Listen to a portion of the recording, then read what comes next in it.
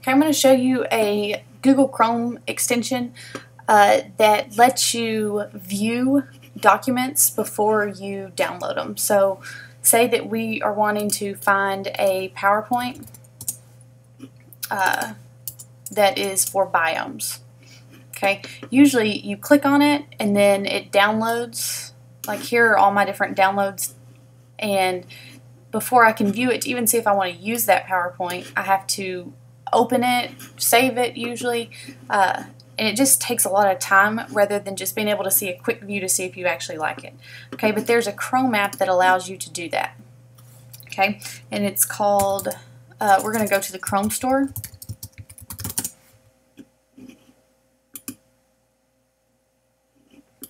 And it's called Doc Viewer.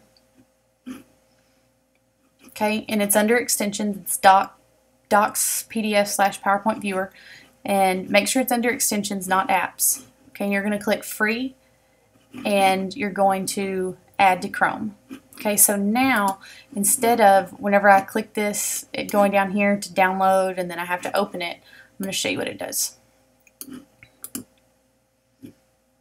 It's going to open it directly in my Chrome browser Okay, so I can scan through this and see if this is something that I want to use.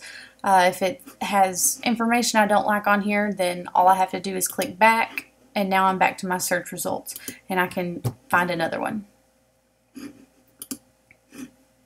Okay, so if you do find one that you want to download, so let's say, okay, I really like this one and I want to use this to teach with.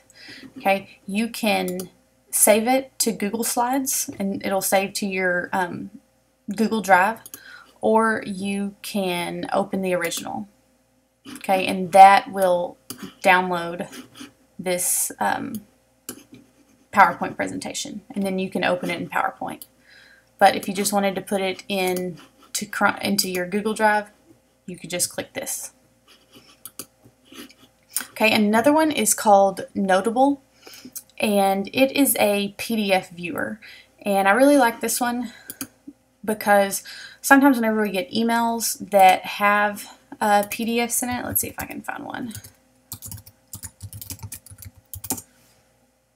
Mm, let's see, I always get some from Miss Good. Let's search her. Okay, so usually you have to click and download to be able to view this, but with this extension Notable, it's just going to pull up and I can look at it from my Chrome browser. Okay, and then I can download it right here if I, it's something I want to print off, or I can actually print from here. But if something I want to download, I just click download. Okay, so it saves you from having to open all of the PDF attachments. You can just view it right in Chrome and decide if you want it or not. Okay, and again, that is called uh, Notable. So you would go to the Chrome Web Store and search Notable. Okay, Notable PDF. And it's this one. It's an extension, and it's this little red circle with the white flower.